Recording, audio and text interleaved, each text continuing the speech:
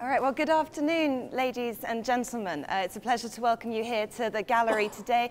My name's Francesca, and I'm the Associate Curator for Painting 1600 to 1800 here at the gallery. So I look after our 17th and 18th century holdings. And it's my great, great pleasure to be talking today at lunchtime about this Canaletto's masterpiece, The Stonemason's Yard of about 1725 and uh, what a location in which to be talking about Canaletto here in room 38, really in the heart of one of the great collections of European view painting.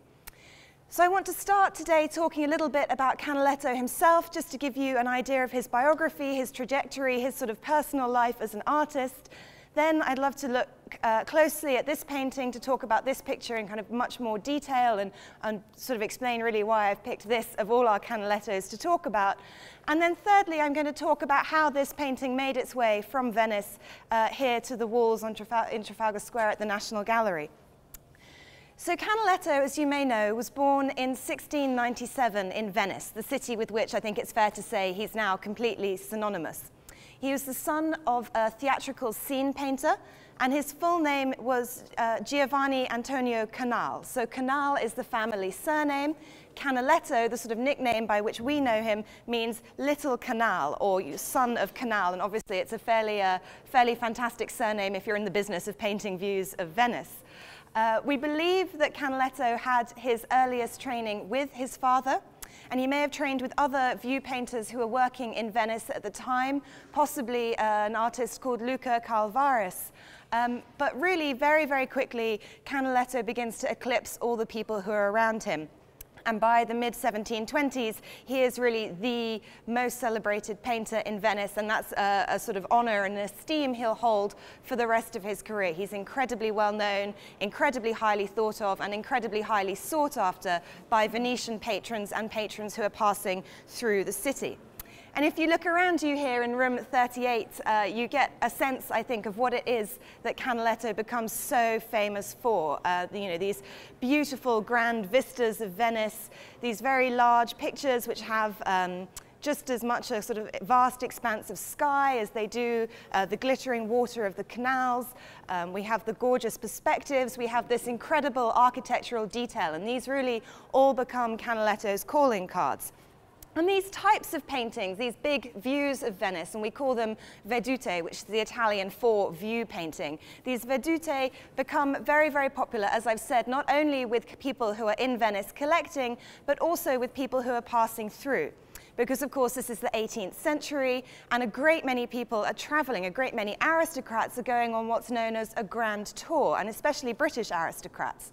And now the grand tour is, could be anywhere from a couple of months to a couple of years. It was a chance, especially for British people who felt they were sort of somewhat marooned uh, in England, to come to Europe to see the great cities, to see the great sites, to see great works of art, to see great uh, masterworks from antiquity right through the Renaissance to the present day. And Canaletto's studio becomes a very important stop on the Grand Tour because the Grand Tour is not only this kind of extended cultural education, it's also, to some extent, a kind of extended shopping trip because if you're a British aristocrat and you're going abroad for a period of, I don't know, six months, a year, two years, this really is the moment for you to build your collection and bring back to, the, to Britain with you uh, all the great things that you've seen on the continent. And Canaletto's views of Venice become absolutely a must-have souvenir. Everyone, anyone who's anyone who goes to Venice must have a view of, of Venice, of the Grand Canal, of these, these kind of scenes to take back with them. And Canaletto himself quickly found that these somewhat formulaic views of Venice could be very, very financially lucrative. Um, so he wasn't working on his own. He had a very large studio. Um, and to say that they're somewhat formulaic is, is, is slightly unfair. You know, he's responding to the demands of of patrons, um, but he is also working with assistants so that he can produce these very large works at the speed for which they're being, they're being asked. So some of these uh, are paintings that concentrated on Venice's kind of grand spectacles, like uh, the regatta on the Grand Canal. We have um, just over there, one of our views of a regatta on the Grand Canal. So you can see Venice in all its kind of pomp and festivity, this great moment of celebration. We actually also in this room have a second version of that same composition, which is just uh, behind you over here on the left of this wall. Um, sorry, it's a bit like playing Spot the Difference. And if you have time to look afterwards, you'll see that what you might call the bones of the composition are uh, very much the same. So you have the same viewpoint, the same view of the canal, the same buildings, uh, the same gondola race taking place, but it's the details which are very different, and these that are kind of customized, if you will, for different patrons. And as well as these views that are sort of celebrating uh, particular festivities or particular moments, Canaletto is also producing uh, what you might call sort of more uh, day-to-day -day views of Venice. So our painting of the upper reaches of the Grand Canal with San Simeone Piccolo, which is uh, directly behind you on this wall over here. Sorry that you keep having to swivel. Um, is a painting that doesn't show any kind of particular festivities. It's just a very sort of ordinary day. You have gondolas out on the canal, sort of in imminent collision. You've got women hanging out of windows, talking to each other, people gathered in the streets. And I think a picture like that is much more about the sort of ambience of what it's like to be in Venice. And to me, this is what makes the stonemason's yard particularly fascinating because uh, well, as I said, we've been looking around the room. This is quite a different picture, I think. To me, this is always one that really stands out. It's uh, a relatively early Canaletto. To me, it always feels like a slightly mysterious painting. Um, I'll come on to this later, but we really know nothing about this picture during the first 80 years of its existence. So we don't know who it was painted for, we don't know exactly when, we don't know whether it was a commission or whether it's something that Canaletto produced and then found a buyer for, and we certainly have no idea how it got from Venice to Britain. So it has this sort of mystery tied up with it.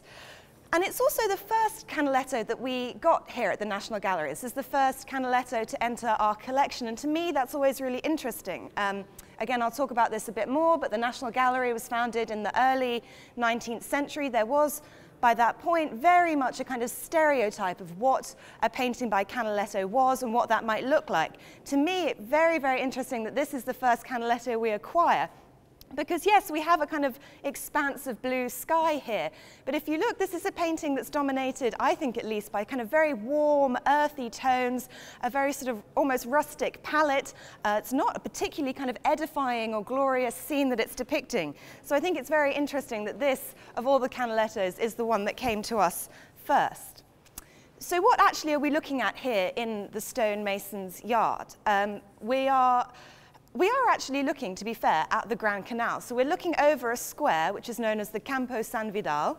That strip of water you see there is the Grand Canal, though it doesn't look particularly grand in this rendering of it. We're not looking up the canal, but sort of across. And what we're looking across to is the Church of Santa Maria della Carità. Um, and so we are absolutely in the heart of Venice, but just not with one of those distinctive Venetian views. And even if you know Venice incredibly well, this is a view that you're not going to be able to find in exactly this form today. Uh, the church Santa Maria della Carità was uh, secularized during the Napoleonic era. Even in Canaletto's own lifetime, that very sort of striking and distinctive bell tower had actually collapsed twice, so that's not there anymore. And that complex today actually houses the Accademia. So if you've been to Venice and crossed the Accademia Bridge, this is the point now at which that bridge crosses. Um, that building that you see on the far left was demolished uh, to make way for a garden. Uh, none of the huts or any of these things are here anymore. This building on the right actually still is, and amazingly, so is this well, which you can just make out here. There's a woman um, sort of leaning into it to pull out water. That miraculously has survived. But it is otherwise quite a, um, quite a different scene. And so what's going on in the Campo San Vidal at this moment, we think in the mid-1720s when Canaletto's decided to paint it? The English name really gives it away. It's been turned temporarily into a stonemason's yard. So uh, you can see uh, across the kind of space of the square that we've got great big uh, hunks of masonry all over the floor. You've got this very um, uh, prominent worker's hut here, this sort of temporary wooden um, building here on the right-hand side of the picture. And across the square, there are various stone workers working with the stone. And we can see that for whatever, whatever project they're working on, their stone is at different stages of development. So if you, I'm just going to hop across this, if you come and look at this gentleman here afterwards, he's working on quite a small piece of stone that's already got quite a degree of um, finish and detail to it. Whereas this man here, who's sort of facing us with a much blunter looking instrument, he's got a much larger, uh, rougher block of stone. He's obviously in an earlier, um, earlier stage of preparation. This is, uh, needless to say, not the age of health and safety. So as well as all the stone and the workers at work here in the square, we've also got down here on the left a mother and her children. In fact, this woman is rushing over because her littlest child has fallen over backwards, uh, perhaps tripped on a piece of stone, perhaps uh, pushed by the rather suspicious and guilty-looking little girl standing next to her, possibly a sibling. But they're clearly very at home here in the Campo San Vidal because both of these children are running around barefoot amidst all this stone and rubble. Again, if you look up just to the left-hand side of the picture, you'll see a woman on the first floor of that apartment leaning out of the window. And you, you, get the sense, I think, that she's leaning out saying, well, what's all the commotion? And we don't quite know whether it's the stone workers who are kind of banging away, making lots of noise, whether it's the wails of this child who's kind of fallen over backwards, or it might be, and this is probably very difficult to make out, but if you look in that bottom window there, a sort of black space of a window, you might just be able to make out a rooster sitting on the windowsill which tells us that this is morning because the roosters come out to crow. So uh, this kind of gorgeous light that we see is a kind of early morning light. And there is, in fact, on this balcony here on the right-hand side, a woman spinning wool, sort of enjoying, enjoying this moment of relative calm and tranquility in the morning light on her balcony. And to me, that's one of the great joys of this painting, The Stonemason's Yard, is this very kind of ordinary daily life that it depicts.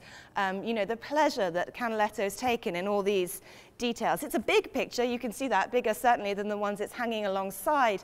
But I think at the same time, there's something very intimate about it, that there are these little details that really draw you in, that show you something, as I said, kind of very ordinary and humble taking place. And we can tell that he's very interested in this depiction of daily life because it progresses in stages throughout the picture. So I've mostly been talking about what's happening right here in the foreground. But if you cast your eye back to the canal, we can see that, yes, just kind of daily life is taking place. So there are gondolas going up and down. There's one gondolier who's pulled over to the side to have a chat to his mate on the bank. Um, there's a woman right down over here who's pulling her laundry out of the canal. Can't really say how clean that would be, but she is, she's doing it anyway. Uh, very difficult to make out from a distance, but there's a priest standing in a doorway as if he's coming out of his church, maybe to look at what's going on today, maybe he's meeting somebody. But you get these very sort of charming little uh, vignettes, if you will, of daily life. One of my personal favorite touches is in this area up here in this building on the right-hand side where you have these windows with their white curtains. I think the use of white is really clever because it's bright and it, it pulls our eye over there. And you can see that in the window nearest to where I'm standing, the curtain is sort of uh, waving in the breeze. The next window along, it seems to have got sort of rucked up somehow on the balustrade. And the third white curtain you hardly see because on that balcony, and we don't know who it belongs to, somebody's taken great, great care to arrange an enormous quantity of potted plants, which I think is just such an adorable detail, not only that someone would have bothered to do it, but that Canaletto in turn has taken the time to paint all these little pot plants in. It's very, very sweet. Further in the background, you can see a chimney smoking. You might be able to make out another flash of white here, where there's some laundry, again, kind of flapping on the breeze. Um, and to me, I think that laundry kind of, in a, in a way, says something about this picture. Not that Venice is airing its dirty laundry per se, but that you get a sense of, of uh, people carrying on with no regard to the fact that they're being painted. Um, and certainly, you know, it's not a particularly edifying subject, it's not particularly grand, but I think Canaletto's taken a real pleasure in painting it, a real pleasure with all these details, Nothing of these people's lives feels mean or dirty, but he seems really to have enjoyed painting it. And I think you get a real sense of that if you look, come and look closely, particularly at things like the brickwork. Um, so as I've said, this painting is kind of dominated by this reddy, brown, very warm palette. It's not the kind of cool, pale stone you might think of um, with the kind of grand palaces you see on the canals. And you can see that he's done kind of extraordinary things with his paint, particularly this building on the left here. Just underneath that chimney at the top, there's actually sort of stains on the brickwork, uh, sort of dribbling down onto the red brick. Further down, um, that sort of plaster has crumbled away to reveal exposed bricks. And if you look very closely in this area, where you sort of get the mix of the red and the pale coloured stone, you can see that actually he's using the weave of the canvas so the actual kind of texture, the surface of what he's painting on, to give you the effect of kind of crumbling stone and age. So I think there's, there's clearly a lot of enjoyment in these details for the artist and for the viewer. And I think the sense that we get here, as I've said, is of a kind of real Venice, an ordinary Venice, an everyday Venice. And that is in large part down to these details, to the meticulous care and attention that Canaletto's um, you know, spent in, in making them. But I think it's also worth mentioning his use of optics because it's something that always comes up talking about Canaletto, talking about his contemporaries. The idea that these very, um, very sort of perfect feeling perspectival scenes were often created with the help of or use of some kind of optical device that being said, it's an absolutely enormous topic and it can get quite controversial and I, I, don't want to go into the kind of deep science of the early kind of cameras that these artists were using.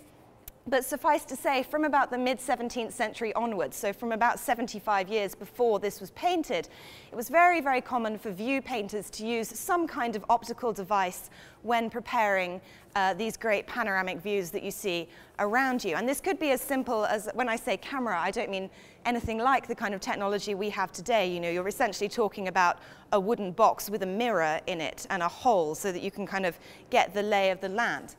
And I think now we tend to get a bit snooty about the idea of optics, and you sort of think, oh, well, gosh, is that cheating if you've, if you've copied somehow the, the fantastic perspective that you're seeing in front of you? But uh, contemporaries don't seem to have felt this. They're very open about the fact that people are using optical devices. So early biographers of Canaletto tell us that he's using them. But the difference for them is that it is not enough simply to set up your, your camera obscura, or your camera optica, and to kind of sketch out the perspective and then reproduce that exactly on the canvas. What the artist has to do is to actively improve it. I think the quote is actually to correct the defaults of the perspective. So there's a lot of work involved. Um, and it is worth saying that while um, you know, the preparatory work for a scene like this, in fact, everything we see around us would have been done on, on site, actually the paintings take place in the studio because the studio is the place where you take these preparatory studies and you mix them with invention and intellect and everything you're doing as an artist to make the scene perfect. So here, uh, you can, for as much as the space has changed, you can actually go back and find the spot where Canaletto would have uh, done the preparatory drawings for this. It's worth saying that the stonemason's yard is unique within his oeuvre. So this is a view that he only painted once. Um, he didn't replicate it. He didn't come back to this scene. And we know that he's, he's chosen quite a high viewpoint. So if you look again at that woman leaning out of her window on the first floor of that building, that's about the height that he is in order to capture this perspective. And in this instance, he's only stood in one place to get the perspective.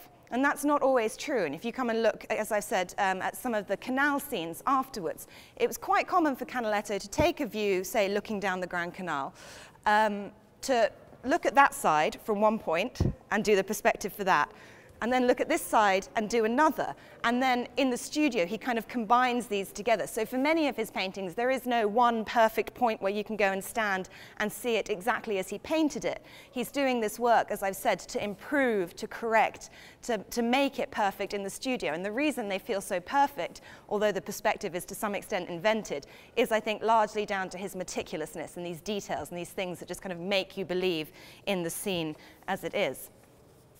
So I want to talk briefly about who this painting might have been for. Um, as I've said, we date it to the mid-1720s, and that's for a number of reasons, partly to do with uh, style, so kind of stylistic reasons, partly because the, the, consensus among art historians is that this is an early work, but it can't be that early because it's so magnificent, so it, has to, it sort of has to kind of end up in that mid-1720s, possibly stretching to about 1730, but really probably before that moment.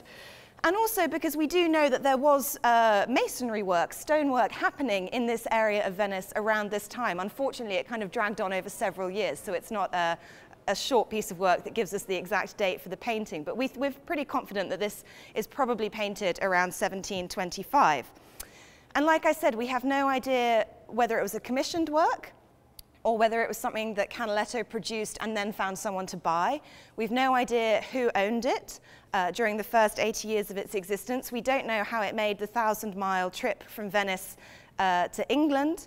And the first, the first kind of reference we have to this painting is in 1808 when it's uh, recorded in the collection of Sir George Beaumont, who was a landscape artist and collector and actually someone who turns out to be enormously important for the National Gallery. So he not only had a big role in bringing this painting here, but many others as well. And I will come back to him. But just to kind of finish this, this, thought of who this was painted for, the consensus is very much that it must have been for a Venetian collector because there is something so intimate, so kind of real Venice about this that, that people, we just don't feel this would have been a view that a tourist would have wanted to take home. It's probably not even a, a scene that a tourist would have, would have actually visited or seen in person. So the feeling is that it was made for someone in Venice who would have appreciated this somewhat unorthodox kind of view. And I also just want to say, you know, please don't be fooled by the sort of somewhat humble subject matter and these not very edifying buildings and bits of stone. This is absolutely considered to be the height of Canaletto's achievements in the early part of his career. It is repeatedly called his masterpiece for his whole career, let alone just the early part. Um, some people have even waxed lyrical saying, my goodness, this is what Canaletto would have done, this is where he would have gone if it hadn't been for all those British dukes and aristocrats wanting these endless views of the Grand Canal. So um, yes, please don't, don't be fooled by the sort of dirt and, and stone and the kind of bare ground you see here. This is, this is very much the, the peak of, uh, of his achievements as an artist. So as I said, the first record that we have of this painting is in 1808, when it is in the collection of Sir George Beaumont, who is a painter, collector, and he's one of the people who's really agitating in Britain uh, for the establishment of the Nat National Gallery. So uh, many of you may know that the National Gallery was founded in 1824 and founded explicitly to be a national institution. So this makes us quite different from, say, the Musée du Louvre in Paris or the Museo del Prado in Madrid. Those uh, those are wonderful collections, but they were based on royal collections. There's institutions that kind of inherited a royal collection, which was then made public. Not the case with us here. Every single one of the paintings you see on our walls was uh, acquired specifically for the national collection, either uh, purchased by us or donated to us. So when the gallery was founded in 1824, it's you know, a very big project because you have to equal the, the Louvre and the Prado. It's a, it's a great work to be undertaking. Uh, so the foundation of the gallery, the kind of nucleus of our collection, comes from the collection of a, a very rich banker and collector called John Julius Angerstein. And he had amassed this spectacular collection of old master paintings. And around 1824, there was a lot of worry in this country because Angerstein had died, and it was felt that his collection was in danger of being sold out of the country. Uh, and so there was, there was great petitioning, and the government of the day, in fact, agreed to buy his collection of paintings to form a nucleus of the National Gallery. And where Sir George Beaumont comes in is that he, in 1823, had promised his collection, again, a spectacular collection of old master paintings, to the nation on the condition that a space could be found to house them and that the government would undertake their kind of care and preservation um, in perpetuity. So once the gallery is founded, uh, Beaumont kind of comes good on his promise, and the stonemason's yard is one of a group of pictures that comes to the National Gallery, not to this building, because we weren't based here at that point, but comes to the National Gallery in 1828. Now, if you visited the gallery last summer, you might have had a chance to visit our exhibition Painters Paintings, which was taking place in the Sainsbury Wing. And this was a, an exhibition that we organized looking at a very large number of works, actually, in our collection, which had been owned at some point in their history by artists. And I think this is a kind of idea that has enduring appeal, that there are certain paintings that you know, are by artists, but speak to other artists in a very particular way, whether that's to do with the subject or the technique. And there's obviously, you know, a kind of infinite number of reasons why an artist might buy someone else's painting. It could be as inspiration, it could be to support a fellow artist, it could be um, to kind of glorify their own reputation, it could be out of a kind of obsession. But I think it's an idea that sort of still has a lot of currency for us today, this idea there are certain pictures that kind of speak amongst artists. And as I said, Beaumont, who owned this, was an artist himself. But interestingly enough, the very early history in Britain of this painting suggests that it may also have had another artistic connection, uh, possibly even another artistic intervention. Um, so if you go down after we finished into room 34, it's a big room at the end in which we house uh, 18th century and early 19th century British paintings. You would see on the walls a painting by John Constable called uh, A Cenotaph to the Memory of Sir Joshua Reynolds. Sir Joshua Reynolds, who's the founding president of the Royal Academy here, very, very important 18th century artist. And Constable in the 1830s paints uh, a, a, painting of a cenotaph, a sort of memorial stone that had been erected to Reynolds's memory. And this stone actually really exists, this cenotaph, and it existed at Coleorton Hall in Leicestershire, which was Sir George Beaumont's country seat. And we know that in 1823, Constable had paid an extended visit to Beaumont at Coleorton Hall. That's the date at which he first sketches the cenotaph that he then turns into the painting in room 34. But we also know he was doing other things with Beaumont's Old Master collection at the time. So in his diary for the 21st of November 1823, Constable writes, I've got an old picture to fill up some holes in. Very intriguing. Um, and we know in a letter sent around the same time that he's saying, oh, I'm just going to be two or three more days here at Coleorton because I have some work to do on the pictures.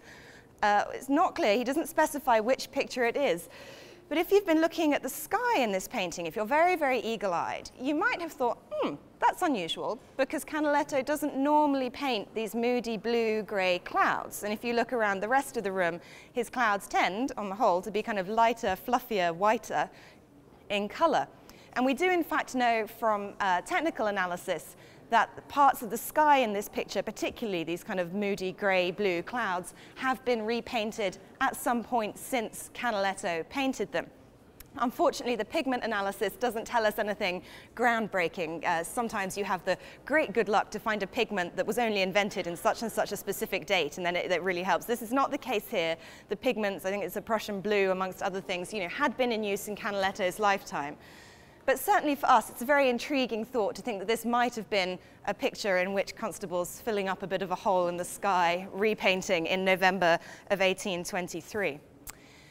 Just before finishing, I want to say a little bit more about Canaletto, because I've been you know, banging on about Canaletto as a Venetian artist, and I think that is absolutely how we see him. As I've said, it's the city that, with which he becomes synonymous, but it would do him a disservice, I think, to pretend that he only spends uh, time in Venice during his career. Um, so we know that in 1742 he actually travels to Rome and he makes paintings in Rome. He's also in that same year kind of making more trips to the mainland from Venice. And it's also a year in which he takes up etching. So for someone who spent pretty much two decades working in Venice producing these big vedute, these big view paintings. Uh, it's interesting to think that around 1742 somehow he seems to be getting sort of itchy artistic feet. And it seems that he's looking for a new challenge, and the, and the, new challenge comes to him really in 1746 when he embarks for England. And this is a very significant trip for Canaletto. It's a very significant part of his career. And he spends the next nine years, bar one return visit to Venice, exclusively in Britain. And it's, in spite of the kind of initial skepticism of the British art market, it's an enormously successful period for Canaletto. So he not only connects with patrons who he's met in Venice, so these grand tourists who've been passing view, through, he looks them up uh, and reconnects with them, but he also finds new patrons. Um, not being in Venice is no way a hindrance. He's still producing views of Venice, even though he's in England. But he's also producing English views. Um, and we're lucky enough to have two of them here uh, at the gallery. And I just want to say a few words about them because they are paintings that I think give you a different sense of Canaletto. So we have a beautiful view here of Eton College in Windsor, and then down here on the far left, we have the Rotunda at Ranelagh, which is, uh, was here in London. It was um, part of a kind of pleasure gardens complex in Chelsea in the 18th century, which no longer exists. But I think, to me, it's important always to look at these as well as the views of Venice, because I think it, it just, gives us that slightly different perspective on Canaletto. You just you get a slightly different feel from those pictures. He did return to Venice after his nine years in England, so he goes back in 1755 when he's in his late 50s and he keeps working. Uh, in 1763, he is admitted to the Venetian Painters Academy, which is really extraordinarily late if you consider how long he's been working and how famous he is and how international his reputation is. But he's admitted in 1763, and he seems very pleased by this. Um, there's a fabulous painting from these late years in Hamburg, uh, which he signed and then inscribed, painted age 68 without spectacles. And to me, that always seems a very charming detail of Canaletto. He was so proud that even at 68, he's still painting his views, uh, po possibly with the aid of optics, but without spectacles, a very important, an important distinction. And then he dies in 1768, aged 71. And I think, again, it's worth saying that for all his fame during his lifetime, for all his international reputation, for all you know, the name recognition now, 250 years after his death. And if I say to you, Canaletto, you're immediately thinking of those views of Venice. He actually died in quite humble circumstances, and his inventory and things after death don't seem to show that he had any kind of great fortune after all these years, these decades of hard work uh, on these, these wonderful Venetian view paintings. So thank you very, very much for listening today. If anybody has any questions, I will um, hang around for a few moments and be very happy to answer them. But my entreaty to you is please come and look closely at some of these pictures. You know, look at the, the ceremonial, the spectacular Venice, look at the you know, views of the Grand Canal as the British might have wanted them, but then come and look at this because it is a masterpiece. It's a very, very different type of painting. And uh, to me, every time I look at it, I see something new and I just get uh, you know, a slightly more complicated view of who Canaletto is as an artist. But thank you very much and enjoy your visit today.